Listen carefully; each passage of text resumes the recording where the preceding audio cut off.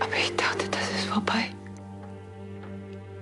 Die Ärzte haben doch gesagt, es ist vorbei. Krebs in dieser Dimension kann man nicht besiegen. Man kann ihm nur etwas Zeit abbringen, das ist alles. Noch ein Alt, Meister Andi? Nee, ich habe von Arno gelernt, nach drei Bier ist Schluss. Ja, so viel Selbstbeherrschung muss sein. Respekt und so seriös. Sollen wir ab jetzt Andreas zu dir sagen? Ja, warum nicht? Ich hatte auch schon vor, mir einen Diplom-Ingenieur im Internet zu bestellen. Noch keine zwölf Stunden King im Ring und schon die erste Kundennummer. Du weißt doch, die ganz Großen entkommen immer. Apropos, ich muss da mal weg. Wo willst du denn? Ja, ich werde mir zu Hause zwei, drei Filme über junge Aufsteiger reinziehen. Und dann aber die ganze Nacht wach liegen, denn ich muss mir noch ein paar Strategien für Brandnerbau überlegen. Was denn für Strategien?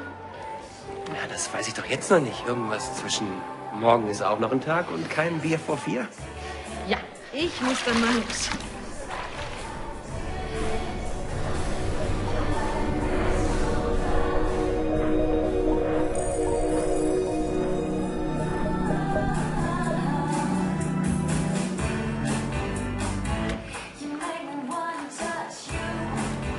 Etwa gerade Bella nach? Quatsch, nein, warum sollte ich? Du stehst auf sie. Nur weil sie jetzt gerade durch meinen Blickwinkel gewackelt ist? Ich muss dann jetzt auch mal weg.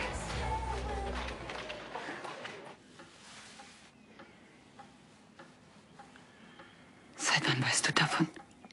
Vor ein paar Wochen bei einer Routineuntersuchung in Düsseldorf hat man auffällige Blutwerte entdeckt.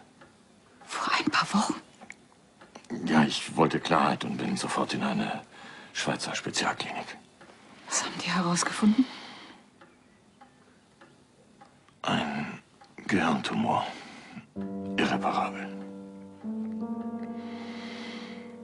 Elisabeth, ich habe mich sofort einer Strahlen- und Chemotherapie unterzogen. Mit erhöhten Dosen. Aber der Tumor ist weitergewachsen. Aber Ludwig, Er kann nicht entfernt werden. Was heißt das?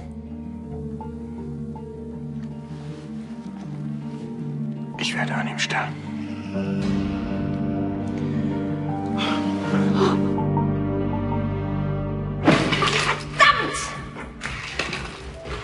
Brauchst du Hilfe, Aschenputtel? Mir ist nicht mehr zu helfen. Wahrscheinlich habe ich das ja sogar verdient. Was, dass du ungeschickt bist? Ich lerne meinen absoluten Traummann kennen. Bei der ersten Krise steige ich mit anderen Kerl in die Kiste, lass mich schwängern und kriege ein Kind, mit dem sich außer mir niemand beschäftigen will. Warum bist du dir da so sicher? Der Vater des Kindes weiß ja noch nicht mal was von seinem Glück. Im Kopf zigmal durchgegangen, was passieren würde, wenn ich es ihm jetzt einfach sagen würde. Alle Beteiligten arrangieren sich mit der tragischen Situation, reißen sich zusammen, sind nett zueinander und vor allen Dingen nett zu dem Baby. Und wir leben glücklich bis an unser Lebensende? Leonie, das Leben ist kein Märchen. Hast du denn wenigstens mit Dana gesprochen, wie es weitergeht? Nachdem ich ja gestern gestanden habe, dass das Kind von Hagen ist, herrscht Funkstille. Dann ruf sie an. Hab ich doch. Gefühlte 50.000 Mal, aber es geht immer nur die Mailbox ran. Oh. Ja, oh. Jetzt kann ich schön die Füßchen stillhalten, bis Dana endlich so weit ist, es Hagen zu sagen. Ich finde, das musst du nicht. Nö, wenn ich jetzt noch mehr Ärger mit Dana haben will, nicht. Es nervt mich so, dass ich jetzt immer noch weiter lügen muss. Der arme Olli denkt immer noch, dass Daniel sich wie der allerletzte Mistkerl aufgeführt hat. Naja, sich ohne ein Wort in den Kongo abzusetzen, das, das ist schon unter aller Sau. Ja, aber selbst er hat es doch nicht verdient, dass jeder denkt, dass er sein eigenes Kind im Stich gelassen hat. Weißt du, wenn es wenigstens so wäre, dann müsste ich Olli nicht länger anlügen, aber so? Warum kann in meinem Leben nicht einmal alles normal laufen? Wieso sagst du dann Olli nicht endlich einfach die Wahrheit? Wenn er mich dann hassen wird. Alle werden mich hassen.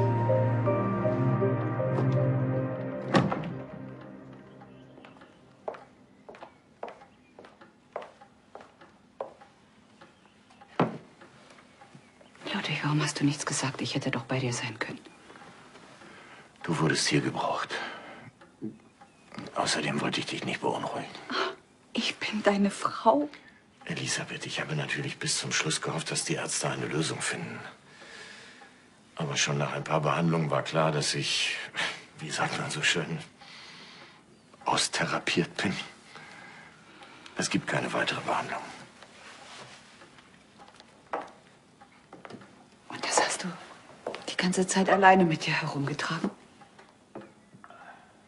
Das verstehe ich nicht, Ludwig.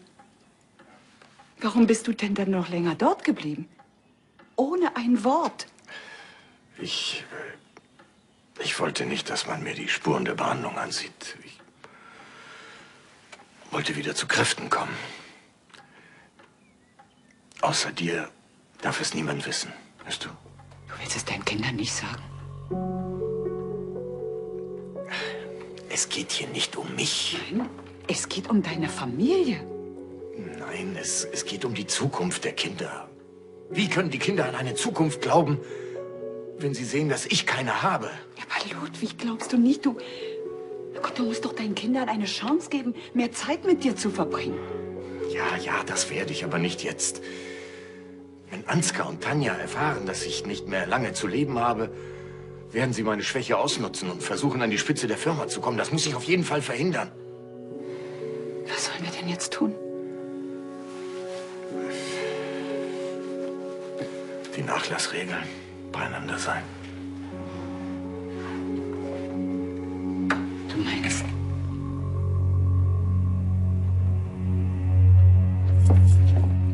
Hallo. Hey, Und wie war dein erster Tag in deinem neuen Leben? alles easy. Ich hatte für jeden Schoki dabei und habe sie danach noch ins No Limits eingeladen.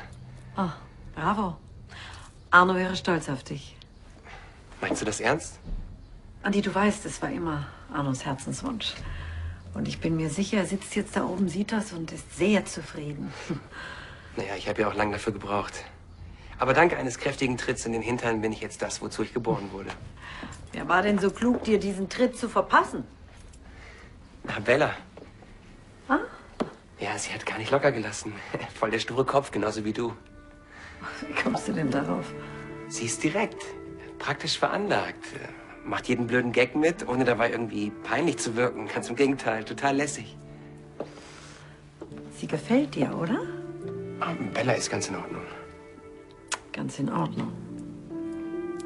Komm, ich bin nicht in sie verknallt oder so, falls du das meinst.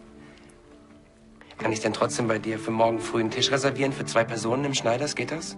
Hm, willst du Bella zum Frühstück einladen? Ja, aber nur platt. Ich mein, wie, wie heißt das Wort nochmal? Platonisch. Ja, eben. Ja. Ja, natürlich. Und dann werde ich es Bella gegenüber auch nicht erwähnen, damit es eine Überraschung ist. ja, genau. Tu's für einen guten Freund. Für einen, der jetzt Boss ist und einem guten Freund halt Danke sagen möchte. Manchmal kann man ihn hören. Wen kann man hören? Den Flügelschlag des Schmetterlinge.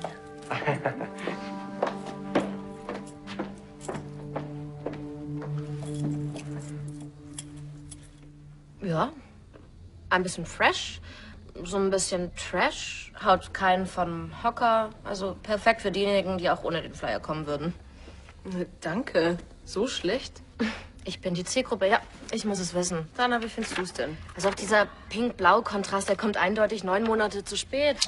Und wenn du noch mal neun Monate sagst, dann dreh ich dir echt den Hals um. Sorry. Mann, ich weiß einfach nicht mehr, was ich machen soll. Jessica ruft mich zigmal am Tag an und will mit mir reden. Reden? Wozu denn? Ich meine, was erwartet sie denn? Dass du sagst, okay, Schwamm drüber, ab morgen schicke ich Hagen zu deinem Geburtsvorbereitungskurs? Also sehr sensibel, Kim. Was ist mit Hagen? Er weiß nichts. Er hat mir eben geschrieben, dass er die beste Bio-Weißwurst seines Lebens gegessen hat. Sorry, aber das ist echt typisch Männer. Wenn sie nicht an das eine denken, dann ans Fressen. Ich glaube, Hagen braucht auch mal was auf seine Bio-Wurst. Kim. Was denn? Ich spreche wenigstens offen aus. Ja, weil die Welt für dich nur schwarz oder weiß ist, ist sie aber nicht. Ja, ja, ja, immer diese Graustufen. Und die Eskimos haben 100 Wörter für Schnee. Und weißt du warum? Weil sie sich einfach nicht eingestehen, dass es draußen saukalt ist. Hagen weiß also von gar nichts. Weder, dass ich es weiß, noch sonst was. Ja, und willst du es ihm sagen?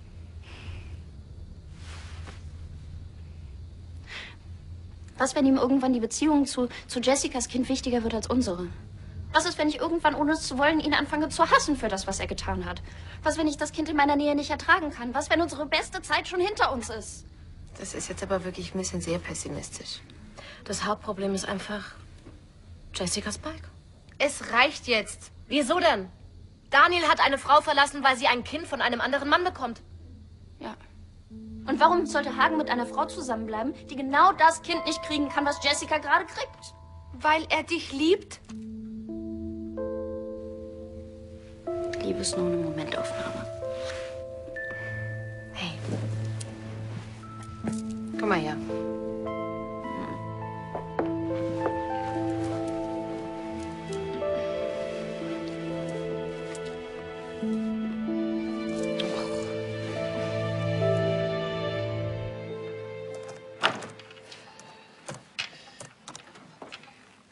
Ludwig?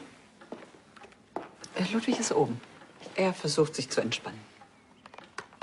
Entspannen. Ja, und? Er hat eine lange Reise hinter sich. Ja, ich finde es toll, dass er endlich seinen inneren Frieden gefunden hat.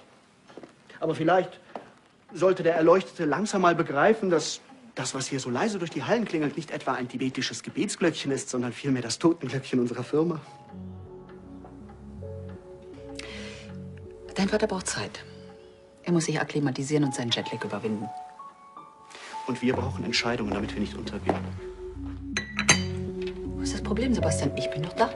Wir haben die letzten Wochen gemeinsam entschieden, dann werden wir das auch heute tun können. Oder so lange, wie es eben dauert.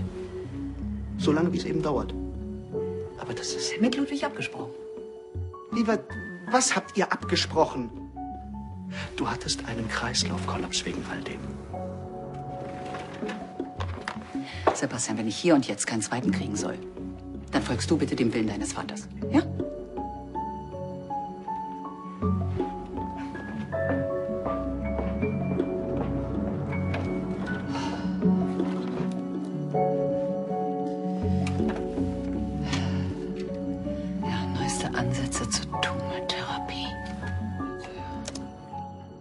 Ich wollte nur sagen, dass ich es echt mies und feige finde, dass du nicht mal mehr ans Telefon gehst. Wenn du noch einen Funken Anstand im Leib hast, dann kommst du her und klärst das mit Jessica. Daniel, sie bekommt ein Baby. Da kann sie ja wohl erwarten, dass du wenigstens mit ihr reden willst. Was ist das? Irgendjemand muss doch mal Tacheles mit ihm reden. Gott, das bringt doch nichts mehr.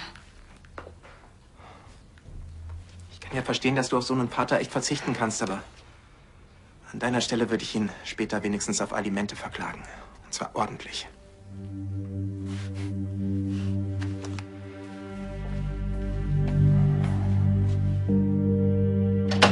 Abend, Professor Dr. Engelhardt. Bitte entschuldigen Sie die späte Störung.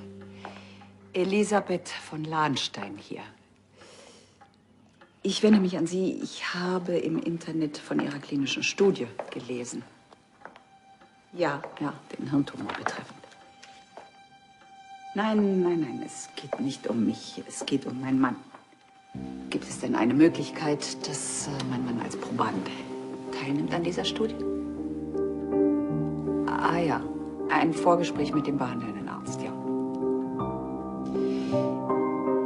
Ja, und wie lange würde das dauern? Ja. Ja, natürlich. Das, kann er machen, natürlich. Ja, natürlich kann ich das einrichten. Ja gut, dann werde ich das meinem Mann so ausrichten.